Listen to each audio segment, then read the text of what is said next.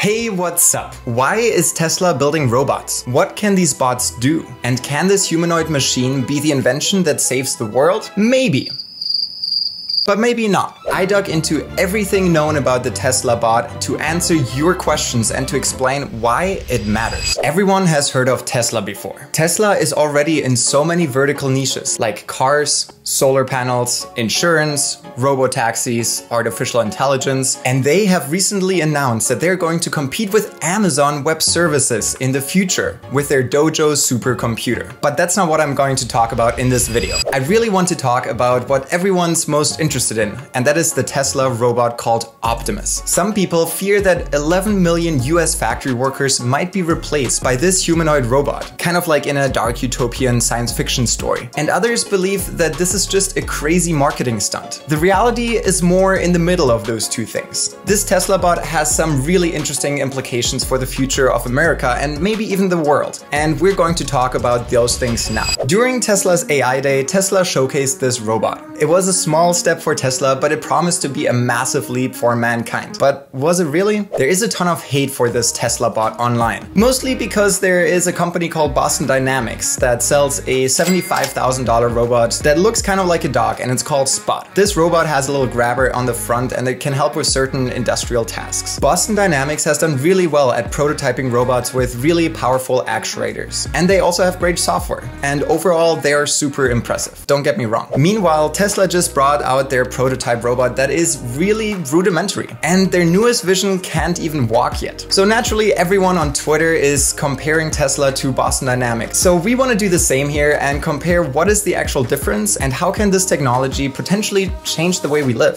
The major difference between Tesla and Boston Dynamics has to do with their fundamental philosophy and their end goal. Boston Dynamics is a 30 year old company that has been able to build robots that can do parkour and dance. Check out this video right here.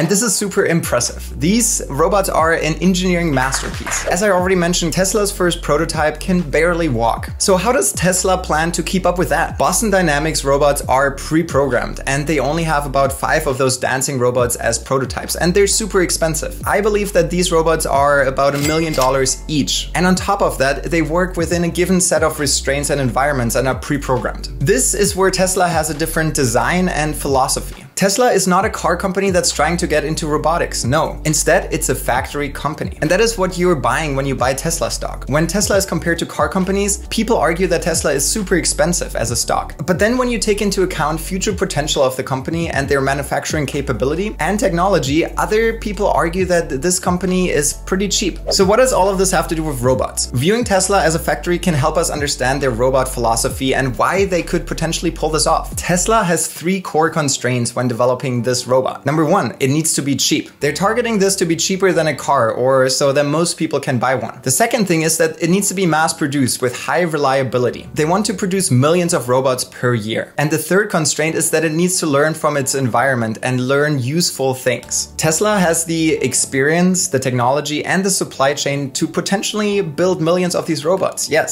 Because of their core constraints, Tesla didn't care about putting together some great dance or choreographed demonstration to a song that looks all good but is useless otherwise. They care about making cheap, highly scalable, reliable robots that can help humans with basic tasks based on very simple and basic training. As already mentioned, their cost target is around $20,000 per robot, but no official number has been released yet. Let's first look at why this matters to Tesla and society, and then look at if these bots can actually pull this off. Elon Musk believes that the decline in population growth is one of the largest dangers to civilization. He defines an economy to be this productive entities times their productivity. Check out his own words. What is an economy? An economy is uh, sort of productive entities times their productivity, uh, capita times output, uh, productivity per capita. At the point at which there is not a limitation on capita, the, it's not clear what an economy even means at that point. It, an economy becomes quasi-infinite.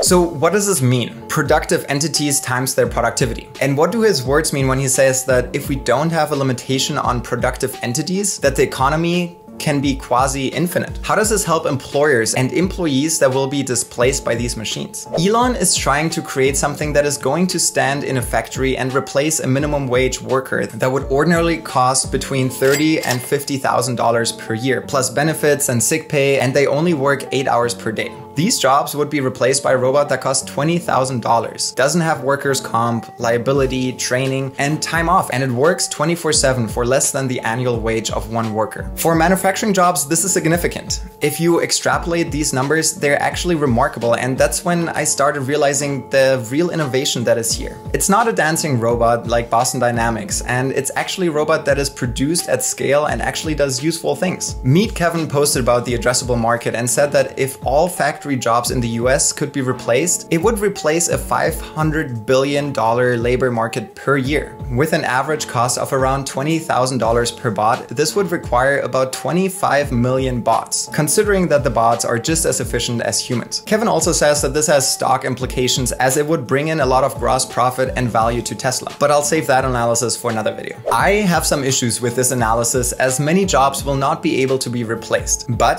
it is an interesting thought exercise to understand understand the vision of Elon and the company. Now, this would have a huge impact on any job that is replaceable, and I will address that in a minute. So you might be saying, But Moe, like the Tesla bot can barely walk. How will it do these factory jobs? That is a great point, and my answer is this. The robot has extremely limited functionality right now, and there have been many humanoid robots that tried to achieve these things in the past with only limited success. I think that Tesla has the right approach, making these robots as cheap as possible, mass producing them with high reliability, and then focusing on what is most important with the robot, working with the hands and understanding the world around them so it can learn quicker. For basic factory jobs, the robot doesn't need to walk a lot. Because of this, I think that Tesla is spending the majority of their engineering talent on the arms and the hands of the robot. Because the reality is that you could park these robots at a factory station and it could just do a useful job without needing to know how to walk. Watch what I'm doing now. I'm picking up a box, I'm putting certain things into this box, I'm wrapping up the box, and then I'm putting it on a conveyor belt. If Tesla can master those tasks, it can work harder on walking and human interactions later, so that we might purchase one of these robots for a household task down the road. But will this result in lots of unemployment? The answer is yes and no at the same time. Yes, the factory jobs might be replaced and will require factory workers to find new jobs. As with any new technology, people fear that if we replace certain jobs with technology, that there will be massive unemployment. But that hasn't been the case historically. We can use the past century as a case study. Technology displaced a bunch of manual work such as switchboard operators, cashiers, data entry clerks, bank tellers, travel agents, and many more. But do we have a ton of unemployment because of these technological advances? No. In fact, unemployment tends to decline over time. Some economists even argue that technology and automation can help us with inflation as it will be easier and cheaper for companies to produce goods and services. So if we could bring in labor, such as cheap robots,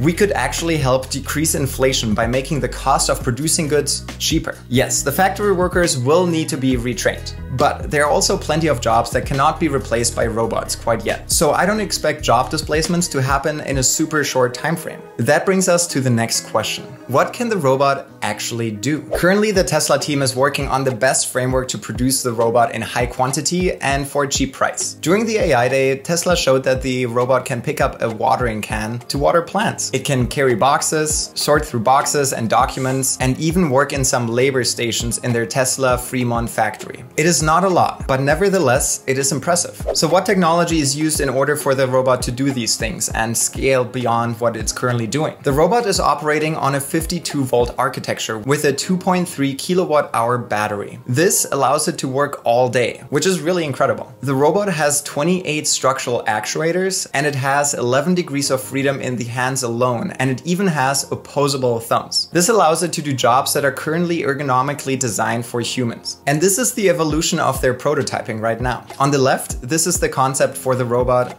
In the middle, this is the first robot that was demonstrated during AI Day.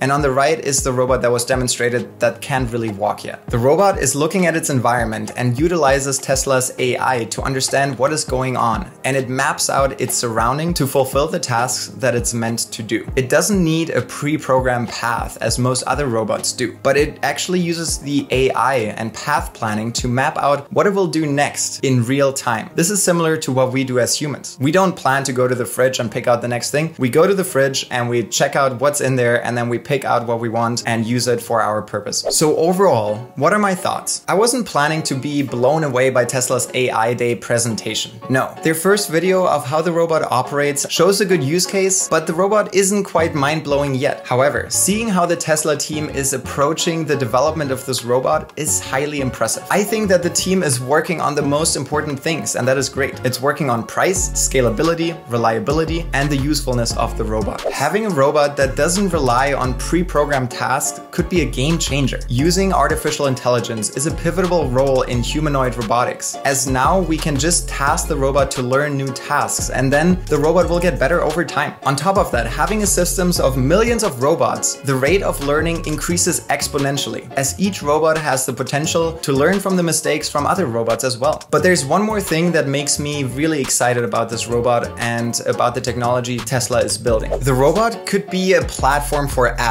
tasks, and subscription, and it could be used as a platform that's utilized by millions. Think of it as an app store for the robot. Tesla could utilize a subscription model that the robot uses for other people to use, and that brings them a recurring revenue stream. Software developers could train the robot to clean your dishes or take out the trash, cook for you, or all other things that you need to do. And all you need to do is just download the app or the application that the robot is trained on. Why is this important, you might ask? Look at Apple. The App Store and services currently brings in 22% of revenue for Apple. And I could imagine that this robot platform could reach a similar scale or even larger for Tesla. So what are your thoughts? Is this just a crazy marketing stunt and a useless product or is this something that could actually change the way we live in the next 10 years? Let me know in the comments. I've covered another video that could change the way we live. Check it out right here. If you want to learn more about this and other crazy technologies, subscribe for more content and check out my other videos. And until next time,